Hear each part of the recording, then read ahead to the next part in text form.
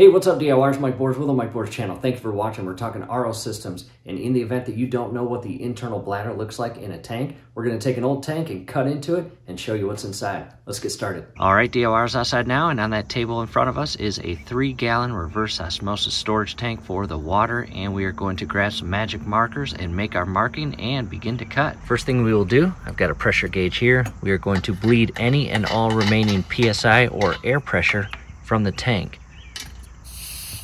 Last thing we want to do is begin cutting and have that internal bladder explode out at us.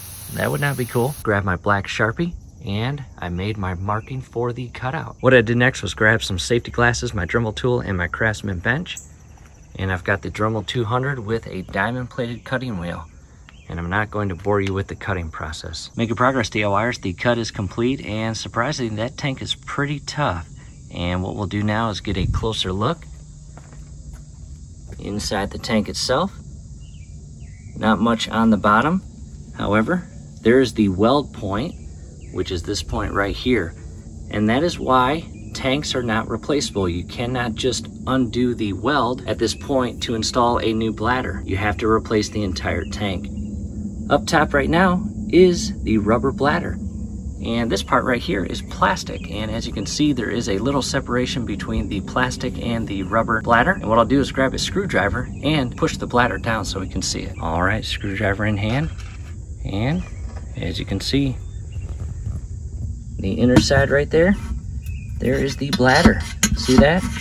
I'll do my best to grab it and pull it down. And I did just that, and that was actually easier than I thought. Just use the screwdriver to push that bladder down. There it is, the rubber internal bladder and that is where all the water rests on or in when it's inside the actual RO tank. And this is your air pocket right here. And if you remember, what you do is fill that tank with air, and standard is between 5 to 7 psi. There are a couple tanks that are more than that. However, again, standard is 5 to 7 psi. And all of that air is inside this lower chamber of your tank. And when you open up your faucet to allow the water flow out, that air pocket pushes up on the bladder pushing the water out of your tank through your lines and out of your faucet into your glass. And what you can run into is in the event that you do not have enough PSI, say for example it's down to 2 PSI, well you don't have enough pressure or strength to push this heavy bladder full of water up and push that water out of your tank through the lines and out of the faucet. In addition, you could actually have a leak in your bladder, which is allowing water to flow down into the air portion of the tank. And if that happens, well, guess what? You need a new tank because in the event that you have a leaking bladder. Again, water is going to fall down into the air chamber portion of the tank and it is going to fill. And say, for example, you've got two inches of water on the bottom portion of your tank, that is definitely going to interfere with the PSI or air pressure inside the tank and your bladder will not be pushed up as it is supposed to with an empty air sealed portion of the tank or chamber. In DIYers, really that's kind of all there is to the RO tank. Not much to it. Some pretty impressive engineering when the bladder goes in, the plastic top goes on, the valves are installed, and the top and bottom portion of the tank are welded together. Again, as you can see, the weld points right in there.